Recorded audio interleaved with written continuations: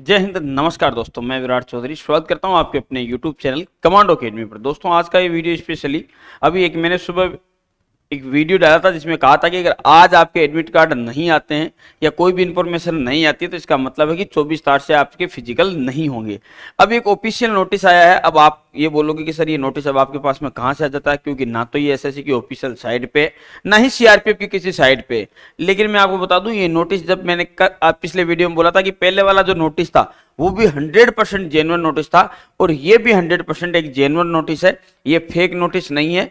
ये officially director general CRPF की तरफ़ से recruitment batch, east block zero seven level four sector एक R K Puram, new Delhi. यहाँ से लेटर जारी हुआ है। अब इस लेटर में देखिए, the DIG, director general SSB new Delhi, ITBP general के लिए है, उसके बाद में असम राइफल के लिए, बीएसएफ, सीआईएसएफ।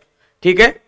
इस लेटर में लिखा हुआ है schedule of PST PET of constable GD examiner 2012 22 यानी जो अभी आपकी भर्ती चल रही है लाडलो, इसके बारे में नोटिस है, इसमें क्या लिखा हुआ आप देखिए स्पेशली लिखा हुआ यहाँ पर कि centre wise schedule of PST या PET to be conduct from 24 चार टू आठ पाँच, यानी लगभग दस दिन के अंदर अंदर आपके सारे फ़िज़िकल हो जाने चौबीस चार से शुरू होंगे फ़िज़िकल और आठ पाँच तक आपके दस से बारह दिन का ये जो समय है, इसके अंदर along with number of candidate at the each centre, अभी जिन जिन सेंटरों पे कितने बच्चे दिए गए, वो भी मैं आपको बता देता हूँ। Each centre hearing with for, please, force wise summary C A P F P H T centre. Assam rifle के नौ सेंटर है बीएसएफ के तेईस सेंटर है सीआईएसएफ के बाईस सेंटर है सीआरपीएफ के पच्चीस सेंटर है आईटीबीपी के उन्नीस सेंटर है एसएसबी के सात सेंटर है, टोटल सेंटर 105 ठीक है? बोर्ड है नौ, असम राइफल के बीएसएफ के 25 सीआईएसएफ के 22 ये टोटल 109 इसमें ये बोर्ड है लाडलू, ठीक है? टोटल ये पूरी पूरी डिटेल है जो सेंटर जहाँ पर आपके फ़िज़िकल होने हैं, ये उन सेंटरों की बात हो रही है, ध्यान रखना। जहाँ जहाँ आपके फ़िज़िकल होना है, उन सेंटरों के राइफल के नौ सेंटर है बीएसएफ के तेईस सीआईएसएफ के बाईस सेंटर है जहाँ पर रनिंग होनी है सीआरपीएफ के पच्चीस सेंटरों पर रनिंग होनी है, और आईटीबीपी के 19 एसएसबी के साथ और टोटल 105 सेंटरों पर रनिंग होनी है। 24 तारीख से आपकी रनिंग शुरू होगी लाडलो। 24 चार से, और ध्यान रखना कब तक चलेगी ये? आठ पाँच तक चलेगी। कब तक चलेगी? आठ पाँच तक चलेगी।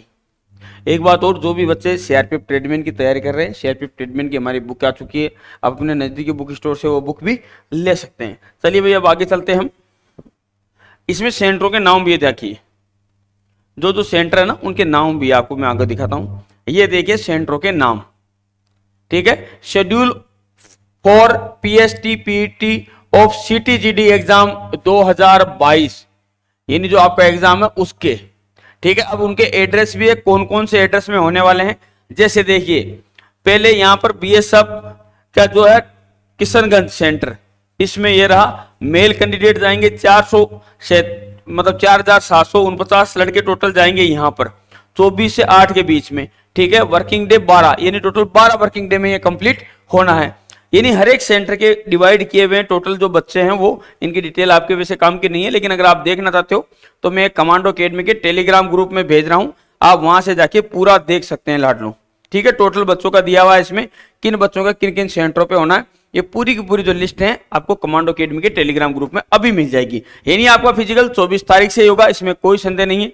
नोटिस जैसे मैंने कहा था, जब तक कोई अपडेट नहीं आती, इसका मतलब है कि आपका कैंसिल हो सकता है, लेकिन अब ये फाइनल अपडेट है एसएससी की ऑफिशियल साइट पर अभी भी नहीं आया है, क्योंकि वो धीरे धीरे चलती है, पता नहीं कब देगा। लेकिन आपको फाइनल अपडेट मैंने दे दी है, आप अपने सेंटरों की लिस्ट भी चेक कर सकते हैं कमांडो अकेडमी के टेलीग्राम ग्रुप से। यही फ़ायदा हमारे साथ जुड़ने का।